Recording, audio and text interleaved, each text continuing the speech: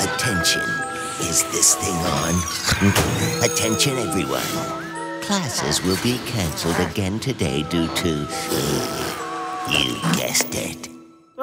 The Ghostbusters are back in a brand new video game, and these new recruits are working together to catch ghosts all over New York City. Here's your homework. Don't get busted.